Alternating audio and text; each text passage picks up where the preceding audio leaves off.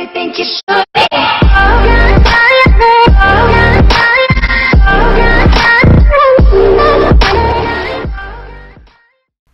Hey everybody, this is the LC here with a little um, interesting video here. Uh, something kind of different. Uh, if you haven't noticed, on my Facebook page, I actually made a post that kind of raised a little bit of a question as to what the heck is it. I made a post with nothing like a sentence or anything, just one phrase that said Pokemon Theta Emerald Renew. What is that? So here's what's up. Uh I've been thinking about this for the longest time and I feel like it's time to update that Emerald but in a bigger scale in the sense that it's mm, I don't want to say it's to be a different game. It's kind of to be the same game, but a lot of things maybe a little bit different. Like one thing that I want to add is the way to grab legendaries, but we'll get into that much later. The big thing that I want to make a point of is how many Pokemon are going to be in this game. Now, if you automatically think, oh, it's going to be Gen 7, well, you're going to be very disappointed. It's going to stick with Gen 6, but it's, it's going to include some Alola forms and some Gen 7 forms like the 100% Zygarde, and things like that. Now, you're probably flipping out and probably in the comments right now or just liking this video, you already left because I said, oh, there's not going to be Gen 7. Now, why the hell will I not do Gen 7? Well, uh, thing is, is that I answered this question a couple months ago, to be honest. Gen 7, I love to death. I don't want you to think that I hate Gen 7 at all. I actually appreciate Gen 7 quite a lot. And by the way, if you're here last week, that's my chair. Gen 7 is probably one of my favorite generations of Pokemon so far. Like, their Pokemon like Salazzle, Vikavolt, and the Ultra Beasts are pretty fun to use as well. Plus, game changers like Mimikyu and Wishiwashi, of course. Those guys are monsters if you know how to use them right. Now, why, oh why, will Mr. LC not include Gen 7 to the Pokemon Emerald? Here's a good reason, alright? It's actually a reason I've said a little while ago. Simply put, is this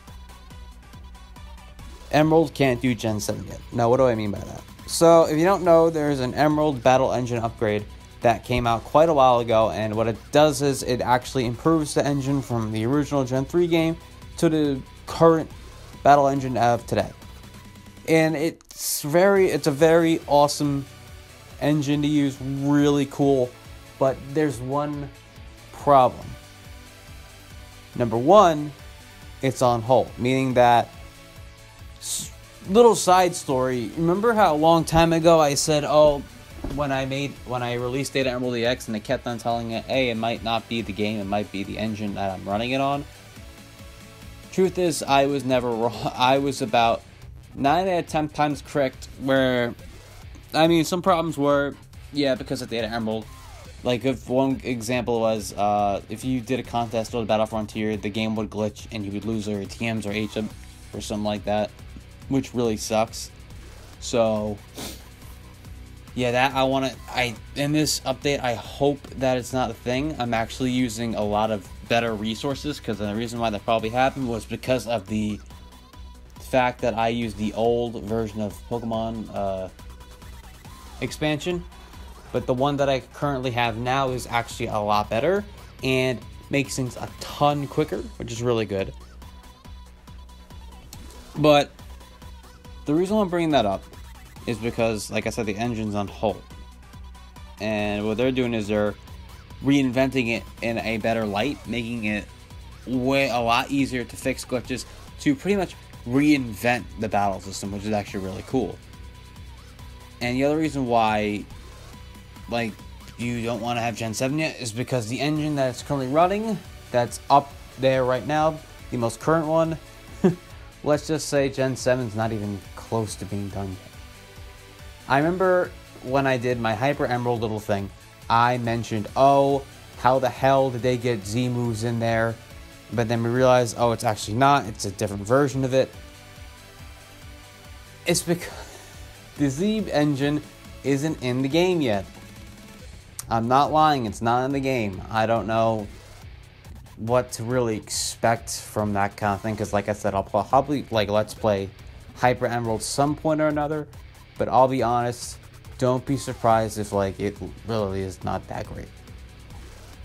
So yeah, that's, another, that's one big reason why I don't want to add Gen 7 yet, is because the abilities, the moves, not all done yet. Gen 6, up to Gen 6, the moves are done. The animations are probably aren't done, but that's fine. I don't really give a shit. As long as the moves function, I don't care. But as everything else comes along, I'm not adding Gen 7 yet. Until there's a better engine, I might consider it. I'm not saying, oh, Gen 7 is going to be a thing. No, I'm definitely not going to consider it. But the problem is, is this. Uh, I don't know if this is true or not, but just take this with a grain of salt. So I got a confession to make. We have a problem. I am doing this again, but the problem is this. There's something coming out this year that's got a lot of people on edge. ROM hackers and ROM hacker admirers alike. What's the new Pokemon for Switch going to be like?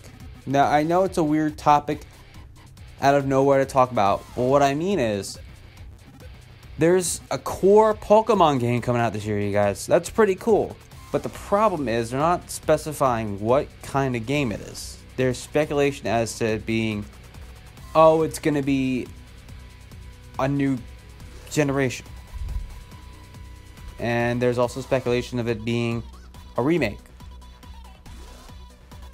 If it's a new generation, let's just say I'm going to get slammed heaven like heavily because this happened to me when I made the original Theta Emerald, the very first one that had Gen 1 to 5. People slammed me because Gen 6 wasn't it. And at that time, I never really worried about it because I don't think there was a, the engine was not even done yet. I think I'm not too sure. But then, when I made Theta Emerald EX, in the process of it, Gen 7 came out, and that really pissed me off because you know people started doing? Oh, we won Gen 7, and yet we have no real basis as to where the hell we're going to start with Gen 7. So what the problem is, is that if Gen 8 drops with a Pokemon Direct coming sometime soon, I'm going to literally scream because I'm going to be checking my DMs, and I kid you not, they're probably going to say, Gen 8's going to drop, are you going to put that in? To which I will take that message, print it out, put it on a wall, take my 12 gauge, and shoot it repeatedly. now, if it's a remake of Diamond and Pearl, which that'd be freaking amazing. And, eh, but you know what the thing is? It's not gonna be. It's gonna be a new freaking uh, new generation. I'm not stupid. But if it's a remake, that's not terrible because I'll add in new forms for the hell of it. Like we all know, Dialga Palkia are probably gonna get a new form, or someone's getting a new gonna get a new form, or something like that. Probably new megas, probably new forms, or something like that. That you can I can easily you know add in. That's the easy part. The problem is if it's a new generation, it's gonna be new Pokemon to add, new moves, new new abilities. It's gonna be a nightmare, and I don't want to deal with that. So here's a little something for anyone who wants Gen 8 to drop or someone like that. If you're expecting me to put Gen 8, if it comes out in Emerald, look at yourself in the mirror and say just look yourself in the mirror and just realize how stupid that sounds. because I'm not adding it in. And it's not because I don't want to, but because, well, well, I mean, I would want to, but it's more of uh, you can't. You literally can't. You could try, you just can't.